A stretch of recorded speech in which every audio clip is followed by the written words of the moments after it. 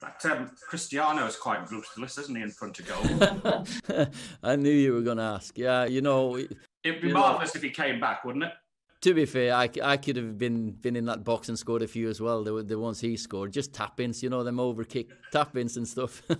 no, he's. Uh, I have to say, as I said earlier, he's he's probably the greatest player of all time, arguably him and Messi. So, uh, but then then um, it is what it is. Mike McGrath.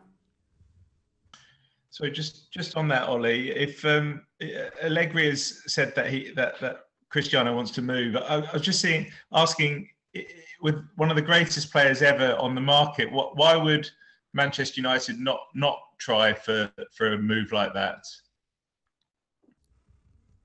Well, it's you know we're uh, we had I didn't think Cristiano was going to turn uh, turn out uh, leaving uh, Juventus, and it's been speculation this morning, speculations the last few days, of course. So. Um, to, we've always had a good uh, communication. I know Bruno's been uh, talking to him as well, and you know we, he knows what we feel about him.